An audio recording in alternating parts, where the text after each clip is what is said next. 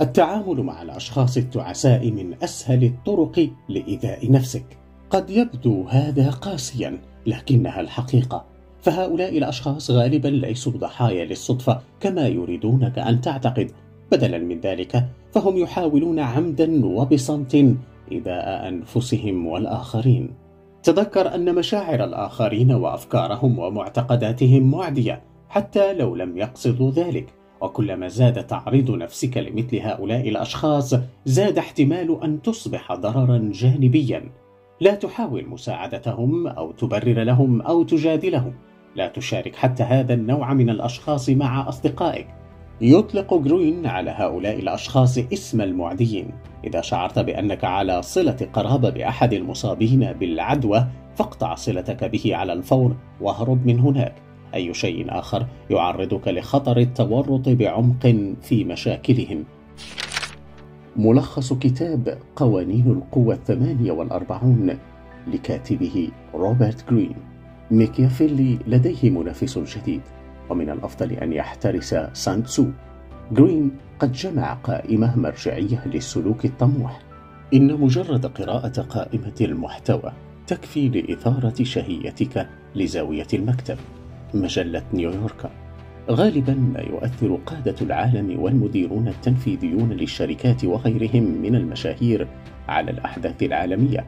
هل تساءلت يوما كيف وصل هؤلاء الأشخاص الأقوياء إلى ما وصلوا إليه؟ يركز كتاب قوانين القوة الثمانية والأربعون للكاتب روبرت جرين على تقنيات اكتساب القوة والتأثير في أي موقف. يحتوي الكتاب على أمثلة تاريخية لتطبيق القوانين الفردية كما يحتوي على أمثلة لأشخاص لا يلتزمون بهذه المبادئ. قد يظن الشخص المتشائم أن بعض القوانين ماكرة وبعضها كذلك. ومع ذلك فهي كلها متجذرة في تعقيد الطبيعة البشرية. وفي النهاية من المهم أن تفهمها وتستخدمها لصالحك أكثر من إنكار وجودها. هناك مواقف مختلفة في حياتنا ومهننا تكون فيها هذه القوانين ذات صلة وتتطلب الظروف المختلفة مقاربات مختلفة. يقدم الكتاب إرشادات حول كيفية استخدام هذه القوانين لصالحك بغض النظر عن البيئة المحيطة. تهدف بعض القوانين إلى التحسين التدريجي وتهدف قوانين أخرى إلى تحقيق النصر على الآخرين في مجالات الحياة المختلفة. في المحصلة يعلمك كتاب قوانين القوة 48 أن تتحكم في مصيرك وتقوم الفرضية الأساسية على أنه يمكنك أن تكون الشخص الذي يملك السلطة أو بيدقا في أجندته. إذا كنت ترغب في ممارسة السلطة بدلا من التخلي عنها فهذا الكتاب لا بد من قراءته. في هذا الملخص أوجزنا الأفكار الرئيسية من كتاب قوانين القوة الثمانية والأربعون. يقول عنه رايان هوليداي ضروري لأي شخص يريد تحقيق شيء ما. نبذة عن روبرت جرين. طور جرين العديد من الأفكار في كتاب قوانين القوة الثمانية والأربعون أثناء عمله ككاتب في هوليود. وقد استوحى أفكاره من أوجه التشابه النفسي والسلوكي بين شخصيات الصفوة الحالية والشخصيات التاريخية. جاء جرين من أسرة من الطبقة المتوسطة في لوس أنجلوس. كان والده بائعا لمنتجات التنظيف ووالدته ربة منزل ذات طموح إبداعي فاشل. عاش جرين في أوروبا في وظائف منخفضة الأجر قبل أن يعمل في وسائل الإعلام وهوليود في الولايات المتحدة ونشر كتاب قوانين القوة الثمانية والأربعون في أواخر الثلاثينيات من عمره. التقى جرين بمنتج الكتب جوس إلفرز في عام 1995 في مدرسة للاتصالات والفنون. فطلب منه إلفرز وضع عنوان الكتاب بعد ستة أشهر من تقديم جرين له كتابا عن القوة. كان جرين يعتقد أن كتابة مشروع كتاب كان محفوفا بالمخاطر لكن تغيرت آراؤه عندما أعاد قراءة سيرة يوليوس قيصر المفضلة لديه. ألهمه تصميم قيصر على عبور نهر الروبيكون ومواجهة بومبي وتسبب هذا القرار الشجاع في اندلاع الحرب الأهلية الرومانية الكبرى. كتب جرين بحثا بعنوان قوانين القوة الثمانية والأربعون وكانت هذه نقطة التحول في حياته. وهو حاليا مؤلف لستة كتب من أكثر الكتب مبيعا بما في ذلك كتاب استراتيجيات الحرب الثلاثة والثلاثون وكتاب فن الإغواء. وتستند العديد من أفكاره في هذه الكتب الأكثر مبيعا على مبادئ بوذية تسين. اجعل الناس يعتمدون عليك. يعتقد الكثيرون أن الطريقة الوحيدة للتأثير في مكان عملك هي التواصل مع رئيس قوي. ينصح جرين بعكس ذلك. فالرئيس القوي سيطردك من العمل ويوظف عضوا جديدا في الفريق إذا ارتكبت خطأ وبدلا من ذلك يقترح جرين فكرة جديدة. اختر رئيسا ضعيفا واجعله يعتمد عليك حتى لا يستطيع فعل أي شيء بدونك. ورتهم في مصيرك لدرجة أنهم لا يستطيعون التخلص منك بهذه السرعة. لتحقيق ذلك عليك أن تكون الوحيد القادر على القيام بما تقوم به. ولكن من المهم أيضا ألا يراك رئيسك في العمل كتهديد. في هذا السياق كتب جرين على منصة إكس قائلا عندما يتعلق الأمر بالسلطة فإن التفوق على الرئيس ربما يكون أسوأ خطأ على الإطلاق. انتهى. قاتل العديد من الفرسان المشهورين من أجل أسيادهم في القرن الرابع عشر. على ماذا حصلوا في المقابل؟ تم ترحيلهم أو سجنهم أو قتلهم. لم تكن المشكلة في الجحود بل كانت الحقيقة أنه كان هناك إمدادات غير محدودة على ما يبدو من المقاتلين الأبطال الذين لا يقلون عنهم قدرة وبطولة. كان بإمكان حكامهم ببساطة استبدالهم. إن جعل الناس يعتمدون عليك يمنحك السيطرة الكاملة على الأوضاع. من الأسهل السيطرة على الآخرين عندما يكونون معتمدين عليك بشكل كامل ولذلك لا تعلم مرؤوسيك أبدا إلى الحد الذي يجعلهم قادرين على الاعتناء بأنفسهم. حافظ على سمعتك بحياتك. لاكتساب السلطة فإن سمعتك أمر بالغ الأهمية. فمن الممكن الترهيب والفوز بناء على سمعتك وحدها. يمكن أن تساعدك السمعة الجيدة على اكتساب القوة وعلى إبقاء خصومك المحتملين في حالة ارتياب فهي تعزز حضورك وقوتك دون أن تستهلك الكثير من الطاقة. ولكن إذا شوهت هذه السمعة فإنك تتعرض للهجوم من جميع الجهات. كون سمعة لا يمكن تشويهها. يجب عليك أن تراقب التهديدات المحتملة وأن تنزع فتيلها باستمرار قبل حدوثها. وفي هذا السياق قال جرين على منصة إكس لا تستخف بمكانتك أبدا. انتهى. كشاب محترف قم ببناء سلطتك من الألف إلى الياء. اصنع لنفسك اسما كمجتهد ومنظم وجدير بالثقة. ومع ذلك قد يؤدي خطأ واحد إلى تشويه سمعتك الجيدة. يقول روبرت جرين لا تترك سمعتك للصدفة أو القيل والقال. إنها عمل إبداعي في حياتك وعليك أن تصوغها وتنقحها وتقدمها بعناية الفنان. انتهى. يمكنك أن تجعل من نفسك أضحوك في أمسية واحدة. إذا أفردت في الشرب قد يؤدي حضورك متأخرا أو غير مستعد لاجتماع مهم. إلى الإضرار بسمعتك. ما تريد أن يعرفك به الآخرون وكيف تريد حماية تلك الصورة؟ هما شيئان مختلفان. قم دائما بإخفاء نواياك. نادرا ما يكون الإفصاح عن نواياك الحقيقية مفيدا. فهناك احتمال حدوث نقاش ساخن إذا اختلف الآخرون معك. دع الغريزة البشرية للثقة في المظاهر تعمل لصالحك. استخدم الحيل والشراكة الخداعية لإرباك جمهورك المستهدف. لا يمكنك أن تخفي نواياك الحقيقية بعزل نفسك عن العالم وبدلا من ذلك ناقشها إلى ما لا نهاية ولكن ليس تلك التي تريد أن تسعى إليها. سيؤدي ذلك إلى إرباك خصومك إذا بدوت ودودا ومنفتحا وجديرا بالثقة. كتب جرين لا تخفي نواياك عن طريق الانغلاق على نفسك.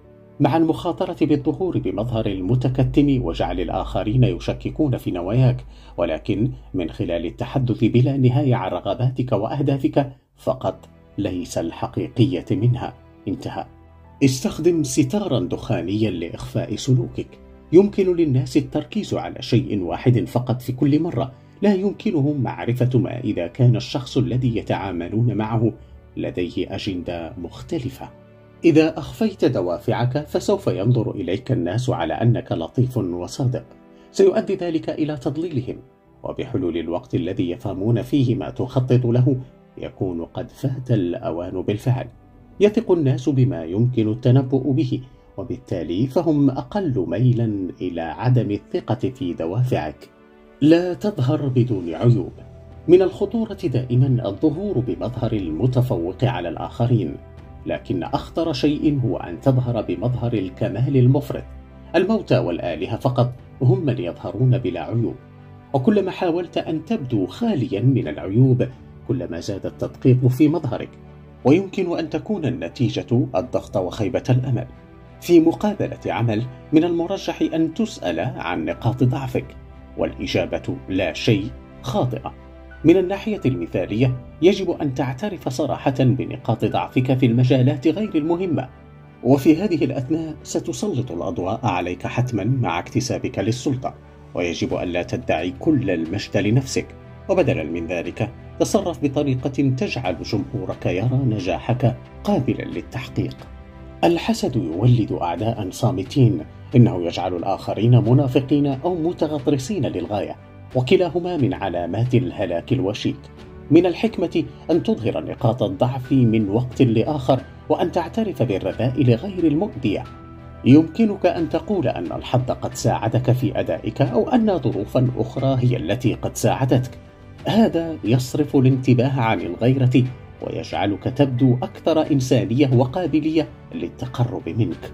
وبخصوص هذا كتب جرين على منصة إكس عندما تظهر نفسك للعالم وتعرض مواهبك فإنك بطبيعة الحال تثير جميع أنواع الاستياء والحسد وغير ذلك من أشكال عدم الأمان. ولا يمكنك قضاء حياتك في القلق بشأن مشاعر الآخرين التافهة. انتهى. يوسف هو مثال لشخص يمكن أن يرتبط بهذا المبدأ في الكتاب المقدس. عندما أخبر إخوته عن حلمه تسبب ذلك في الغيرة ولم يكن بعد إنجازا حقيقيا. لكن إنجازه كاد أن يكلفه حياته بسبب حسد إخوته له. لا تلتزم بأي جهة أو قضية غير قضيتك. ابقى مسيطرا من خلال الحفاظ على استقلاليتك. سيتنافس الآخرون على اهتمامك. يمكنك أيضا وضع الأطراف المتعارضة ضد بعضها البعض. تفقد كل سيطرة على الناس إذا سمحت لهم بالاعتقاد بأنك تنتمي إليهم. وعلى النقيض من ذلك سيحاولون جاهدين كسبك إذا لم تتفاعل مع مشاعرهم. حافظ على المسافة بينك وبينهم وستحظى باهتمامهم الكامل. لا يتعلق الأمر بإخافتهم أو إعطاء الانطباع بأنك لا تستطيع الالتزام. أنت بحاجة إلى إثارة الأذهان وجذب الانتباه وإغراء الطرف الآخر بك. ابتعد عن الجدال التافه. تظاهر بأنك مهتم ولكن دع الآخرين يتجادلون بينما تجلس أنت وتراقب. إنها استراتيجية شائعة للتحريض على نزاع بين مجموعتين وكسب النفوذ من خلال القيام بدور الوسيط. من الأفضل أن تتكلم أقل من اللازم. تجنب إبهار الآخرين بالكلمات فكلما تكلمت أكثر كلما بدوت مألوفا أكثر وبدوت أقل سيطرة. كتب جرين في هذا الموضوع حتى لو قلت شيئا عاديا سيبدو إبداعيا إذا قلته بغموض وصراحة وبصورة تشبه كلام أبي الهول. انتهى. عندما يتحدث الأشخاص المؤثرون بشكل أقل فإنهم يثيرون إعجاب الآخرين ويخيفونه.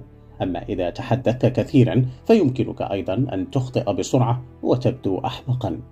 إليك بعض النصائح الأخرى التي يجب أن تضعها في اعتبارك. الصمت يزعج الناس لذلك يحاولون وهم قلقين ملء الصمت. قلة الكلام تجعلك تبدو أكثر تعقيدا وغموضا. تجنب السخرية بأي ثمن فهي نادرا ما تكون مفيدة. إذا التزمت الصمت فأنت تخاطر بإثارة الشكوك أو الانزعاج. إذا لعبت دور مهرج البلاط فيمكنك أن تبتعد عن الأضواء. التعامل مع الأشخاص التعساء من أسهل الطرق لإيذاء نفسك. قد يبدو هذا قاسيا لكنها الحقيقة. فهؤلاء الأشخاص غالبا ليسوا ضحايا للصدفة كما يريدونك أن تعتقد. بدلا من ذلك فهم يحاولون عمدا وبصمت إيذاء أنفسهم والآخرين. تذكر أن مشاعر الآخرين وأفكارهم ومعتقداتهم معدية حتى لو لم يقصدوا ذلك. وكلما زاد تعريض نفسك لمثل هؤلاء الأشخاص زاد احتمال أن تصبح ضررا جانبيا. لا تحاول مساعدتهم أو تبرر لهم أو تجادلهم. لا تشارك حتى هذا النوع من الأشخاص مع أصدقائك. يطلق جروين على هؤلاء الأشخاص اسم المعديين. إذا شعرت بأنك على صلة قرابة بأحد المصابين بالعدوى فاقطع صلتك به على الفور واهرب من هناك. أي شيء آخر يعرضك لخطر التورط بعمق في مشاكلهم. قال روبرت جرين في هذا السياق لا تهدر وقتك الثمين أو راحة بالك في شؤون الآخرين فالثمن باهظ للغاية. انتهى. إليك ما يمكنك فعله بدلا من ذلك. استفد من ذكاء وإنجازات وحكمة الأشخاص الذين يسعدونك. دع صفاتهم الحسنة تصيبك بالعدوى لتجعلك تشعر بتحسن. أحرص دائما على مناشدة الناس لمصلحتهم الذاتية وليس لرحمتهم أو تقديرهم. طلب المساعدة هو فن يتطلب فهم احتياجات الشخص الآخر فحتى أرفع الأشخاص مكانة لديهم رغباتهم.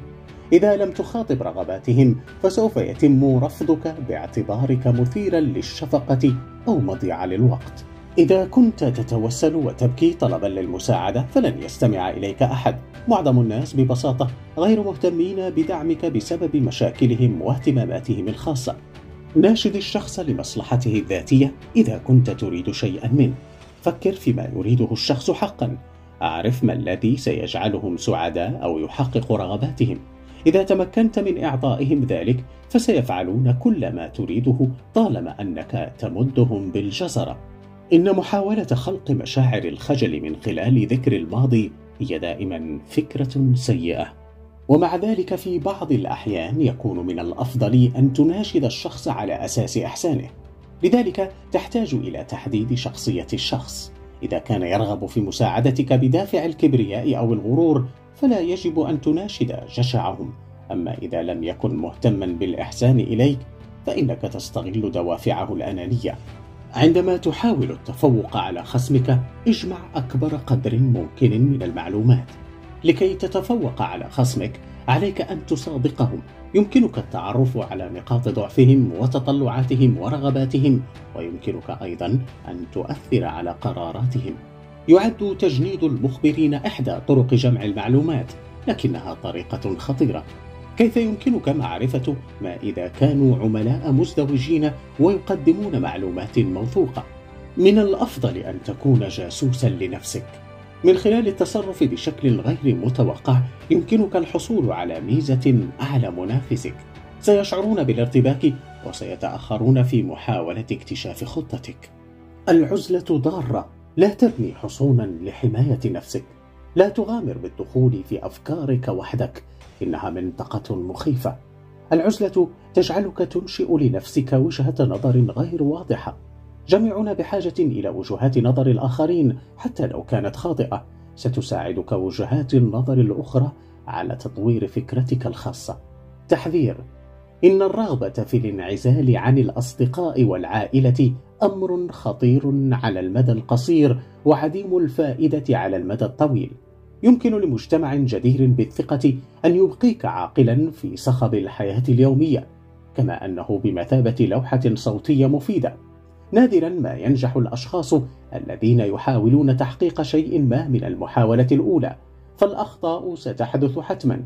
لكن الثقة يمكن أن تساعدك على الهروب من أفكارك وإلى العودة إلى الواقع. إنها ميزة أن تكون صامدا. الملخص النهائي لكتاب قوانين القوة الثمانية والأربعون. قوانين القوة الثمانية والأربعون لروبرت جرين هو كتاب للمساعدة الذاتية ويستند إلى حياة شخصيات تاريخية. إنه يعلمنا كيف نكتسب القوة وكيف نحافظ عليها. تلعب السلطة دورا في المجتمع وفي حياتنا بطرق عديدة. وقد استخلص المؤلف ثلاثة قرون من التاريخ لتعليمنا هذا المفهوم. يمكننا تلخيص الأفكار الجوهرية المذكورة أعلى في النقاط الست الرئيسية التالية. لممارسة السلطة يجب عليك أولا أن تبني الثقة مع الأشخاص الذين تريد التأثير عليهم. القدرة على التكيف والتوقيت أمران حاسمان للحفاظ على السلطة. لكي تتواصل مع الأقوياء يجب أن تخلق الإبهار. عزز إيمان الجمهور بالمستحيل. يمكنك أن تكتسب القوة من خلال عكس بدائل الطرف الآخر ومن خلال السيطرة عليها. لاكتساب ميزة تكتيكية استخدم الصدق الانتقائي والإلهاء والإفراط في السرية.